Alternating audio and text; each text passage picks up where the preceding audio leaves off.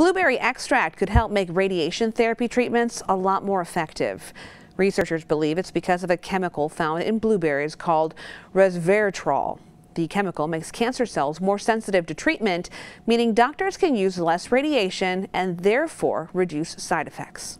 We reduce the dosage of radiation, but the killing effect of cancers not reduced and even enhanced. Drugs have so many side effects.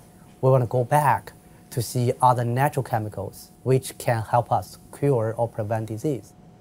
Red grapes and red wine also make cancer cells more receptive to treatment.